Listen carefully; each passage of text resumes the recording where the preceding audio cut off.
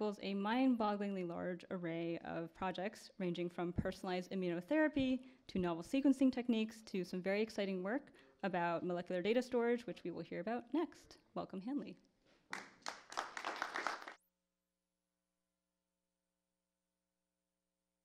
Can you hear me? So thank you for the opportunity to speak at this forum. This is not the typical audience I speak to, but I find it very exciting to be here. Um, I am not a computational scientist by any means, although I do know how to code.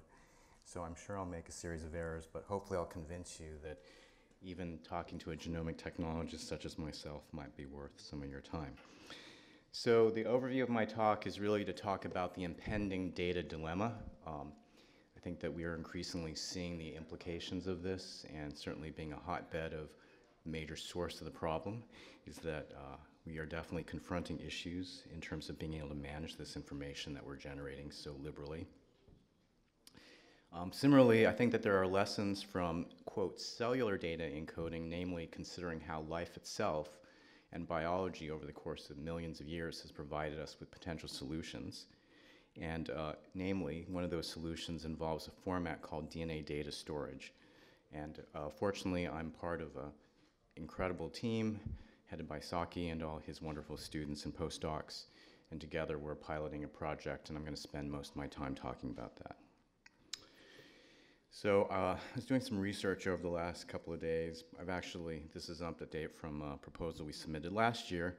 Um, these are just some quotes from a Nature article in 2016 where it was estimated there'll be 44 trillion gigabytes by 2020. So all these YouTube videos and other things. But in the era of big data, more is always considered better, and what that practically means is there's huge amounts of data that needs to be stored, managed, potentially analyzed. And so this represents, along this growth curve, a potential order of magnitude increase from what was noted in 2013. And interestingly, this article and the author pointed out that if you look at current capacity for developing memory chips, this clearly exceeds the supply that we could potentially generate based upon looking at microchip grade silicon. So it does represent a potential dilemma for maintaining our humanities uh, uh, history. I like this as example just because it's visual. So if you think about the scale of data storage, one petabyte equivalent is uh, 20,000 Blu-ray DVDs. I know probably for most people in this audience, in terms of the younger generation, you don't know what that is, but it looks like a disk, so I showed a pile of that.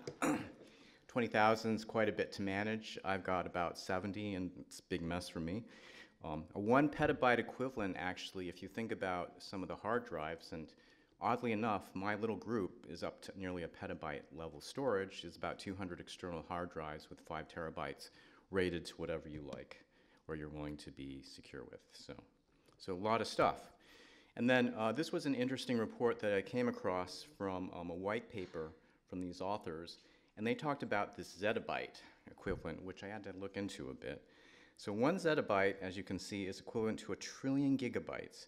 And if you're able to store the entire, quote, what they say is the global data sphere on DVDs, this would give you a stack of DVDs that could get you to the moon 23 times, not just once, or circle the Earth 222 times. So that's kind of like thin piece of plastic. There's a lot of data there.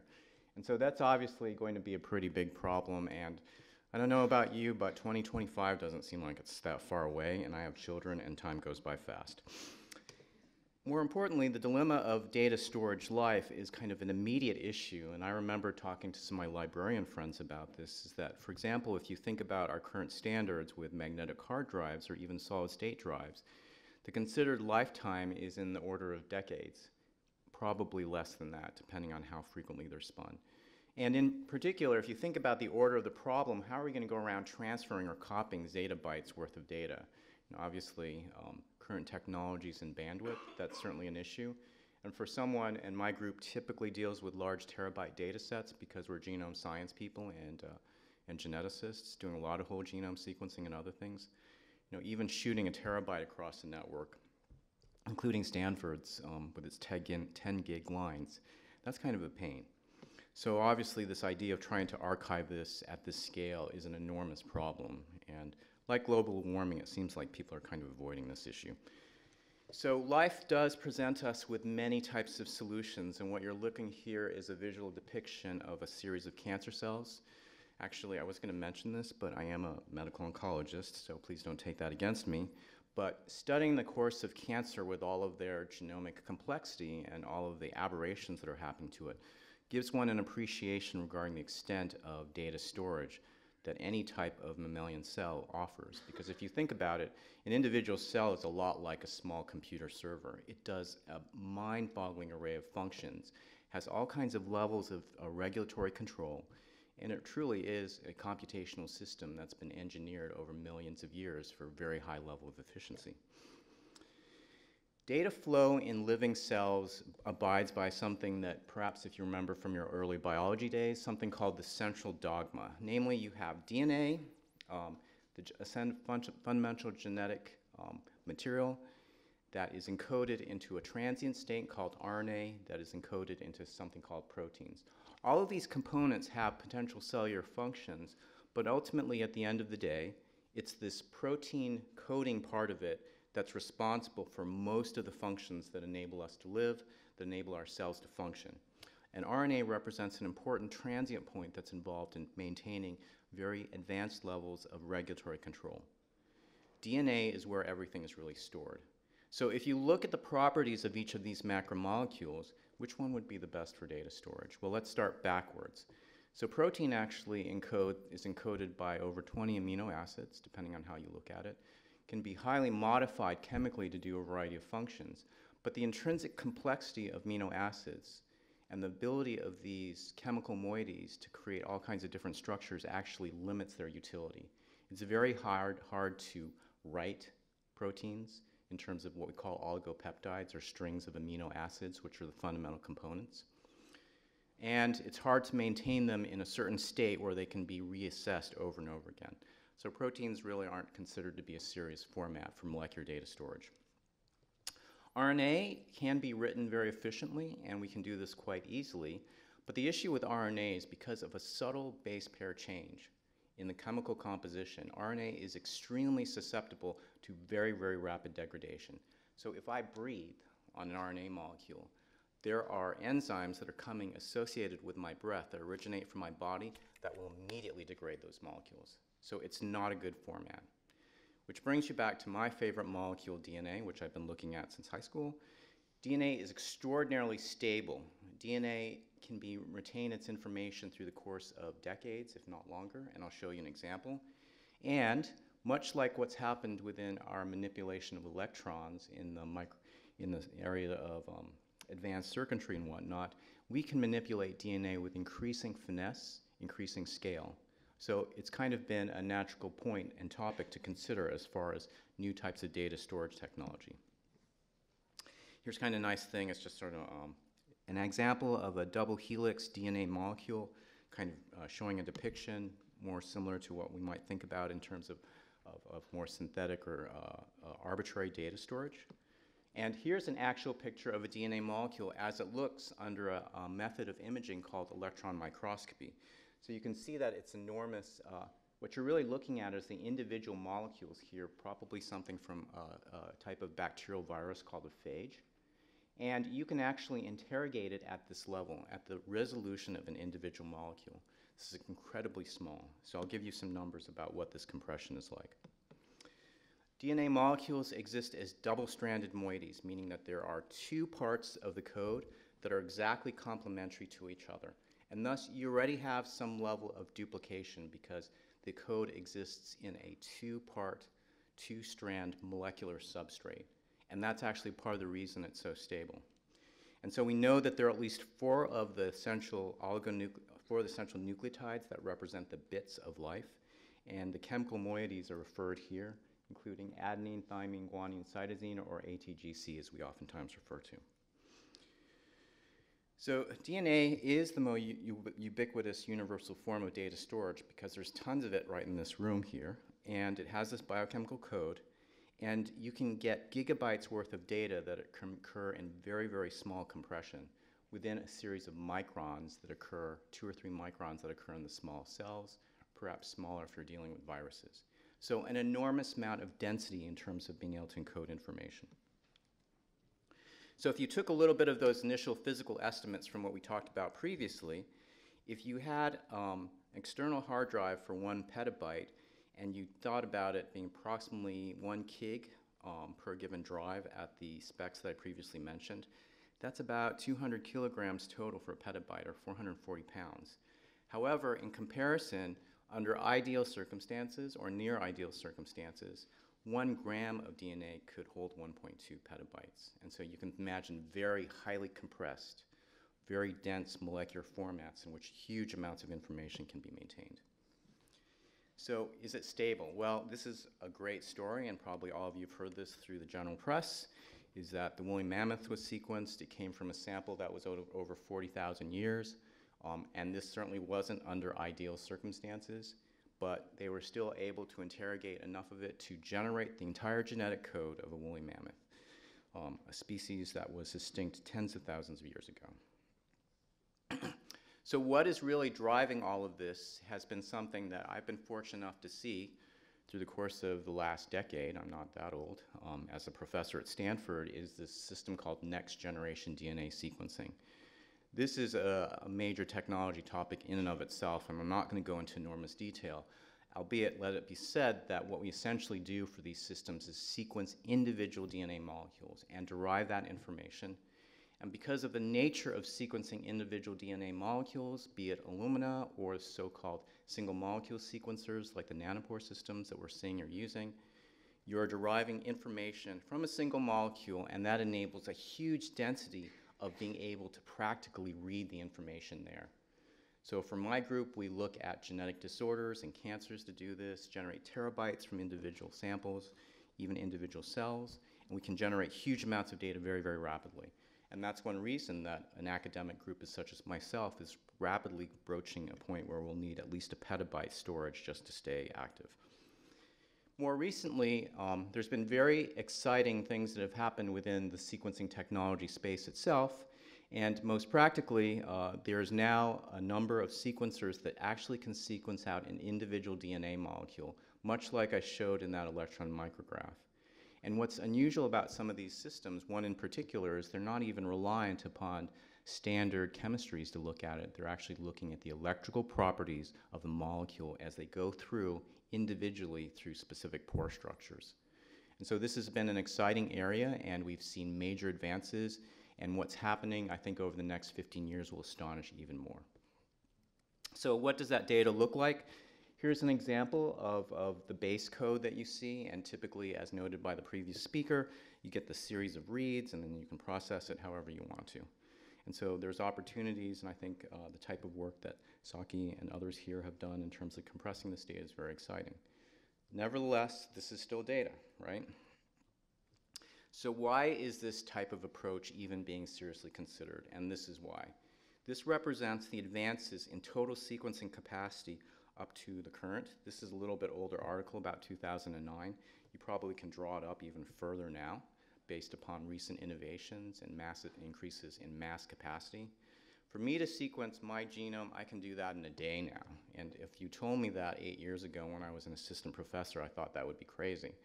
But I've come to learn is that you never underestimate the capacity to generate and read genetic DNA sequence because it's nearly always going up by two or three times every year. And so I'm at the point where I don't even care what someone says to me about the cost because I figure in a year and a half that cost will drop a significant fraction because of this curve. Similarly, this is where things are going, and this is the reason DNA data storage is becoming viable, is this massive drop in cost for us to be able to read these sequences, particularly using solid-state systems now, so this is all electronic this becomes practical at a point and an efficiency that we couldn't have imagined a decade ago. And so, for example, here's a whole genome. We sequenced this in about a day and a half. We analyzed it in about a couple. Um, it can go much faster. Uh, and this represents an individual cancer sample with all of its complexities. What you see is a circle, and each one of those circular bars represents a part of a chromosome, which are the fundamental volumes that make up a human genome and where the cross occur in either in red or in orange represents errors or what we call translocations, where different parts of the data have been brought together aberrantly, and this is what caused this cancer in the first place. So what are the advantages to DNA data? Well, you have this enormous molecular density, just as I described. I'm gonna have to be lugging a couple hundred pounds of hard drives around or having one of my uh, information technologists, you know, upgrading our servers. Like, I can handle that. My kid can handle that. Duration potentially of hundreds of thousands of years under lower ambient temperatures. We're not talking about sticking it in liquid nitrogen. We're talking about sticking it maybe at 15 degrees Celsius. And with the right kind of conditions, that can be maintained for decades, centuries, potentially millennia. No electricity required for long-term storage. You just pack it away, stick it in your fridge, a petabyte or two. Rapid replication of data. Now, this is one of the most important points. I've been thinking a lot about this. We do face some major challenges in this technology arena, but I can practically replicate this data incredibly efficiently.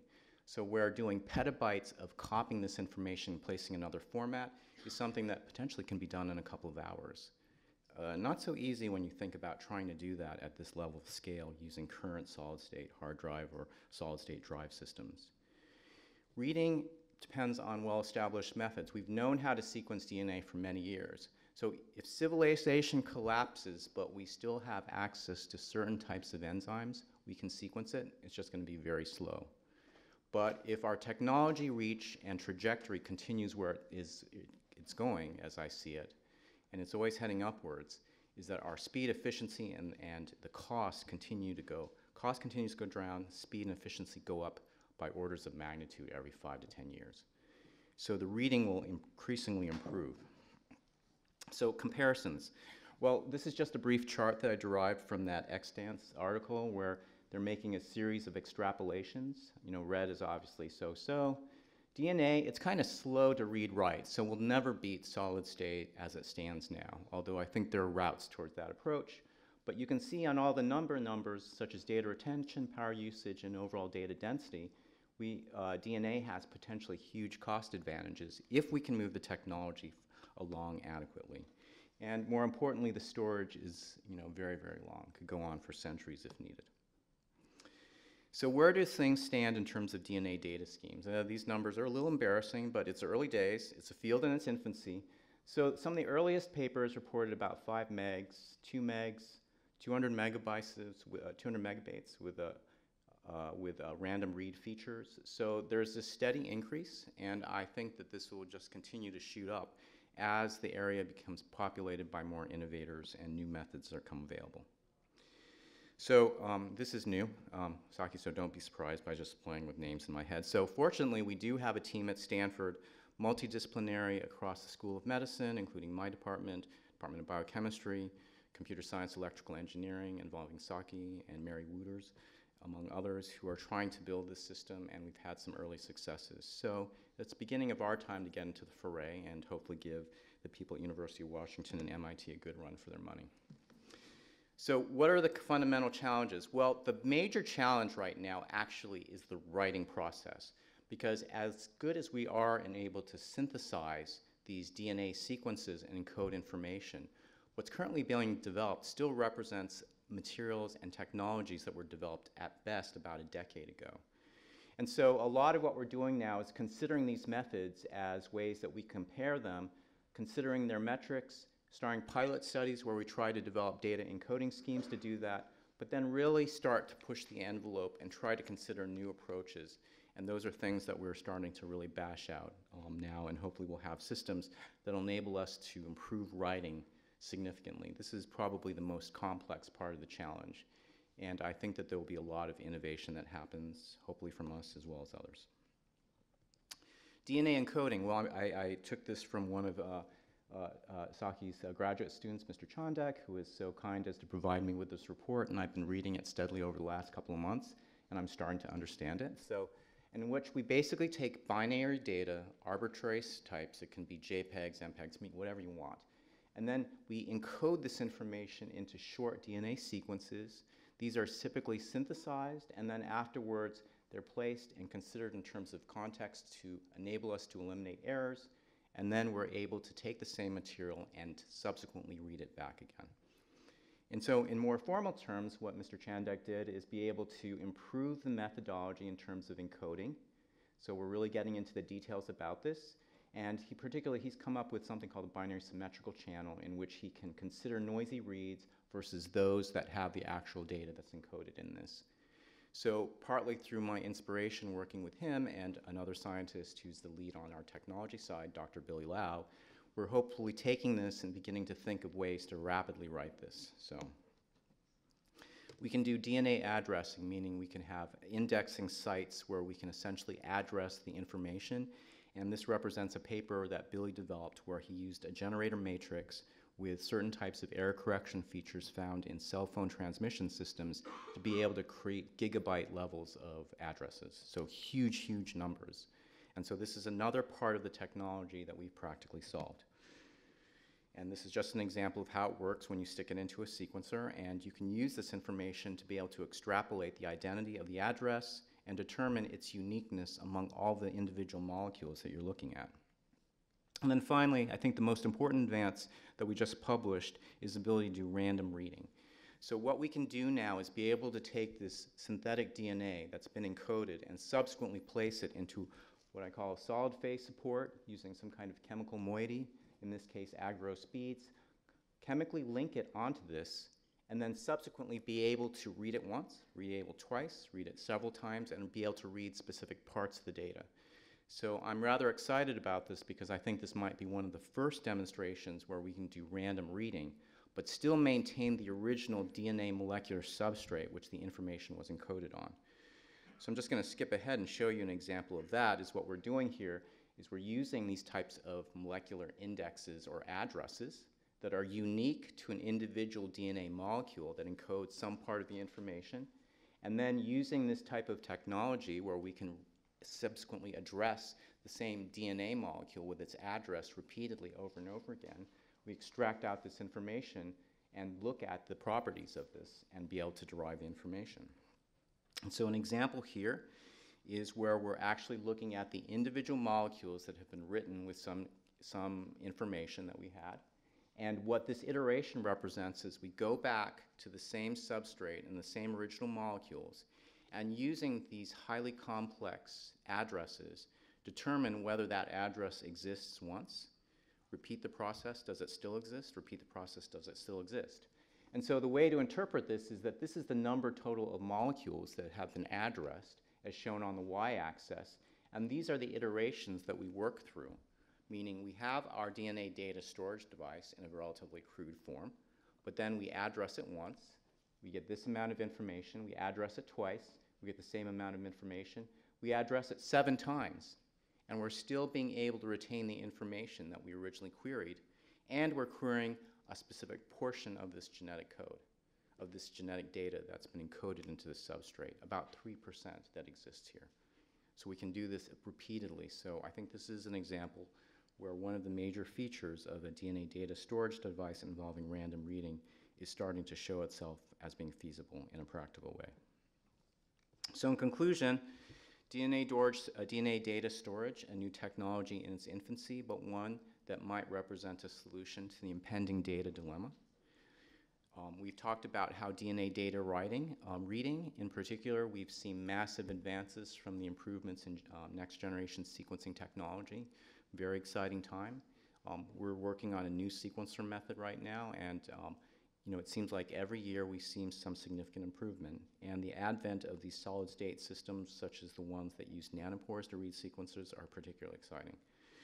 DNA data writing, this is where the work really needs to be done because this represents the major bottleneck. We can't write sufficiently to put terabytes of information on. So my own sense is that we need a change in the paradigm thinking about how this is done. And we have our own solution, and we'll see how harebrained it is or if it um, actually works. And I'm kind of hopeful because I'm an, an eternal optimist. And then finally, in terms of the Stanford Technology Program, based upon this putative Center, whose name I just came up with in preparation for this talk, but I hope Tsachy will be engaged and willing to help me build this, is that in our Stanford Technology Program to develop DNA data storage, We've demonstrated as early milestones that random reading and data addressing in archived data can be done practically in a format that doesn't break the bank. And we'll continue the work um, with all the wonderful students and postdocs who are involved in this team on improving the encoding and the solid state reading, particularly using the next generation of single molecule sequencers.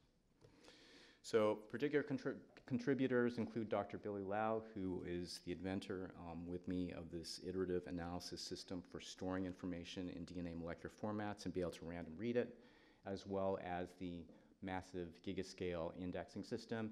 Peter Griffin, who's the person and scientist who inspired me to start thinking about this direction and uh, helped me reach conclusions where systems that we've developed are applicable to this problem. And then all, all the students in electrical engineering who've contributed to this as well. And it's been a pleasure and honor to work with them. And then here are members of my group who actually do the work. Um, our funding includes National Science Foundation, for which we're grateful for, and uh, Beckman Award, which uh, Tsachy was very helpful in, in getting that for us to expand our efforts. So thank you much. I appreciate your time.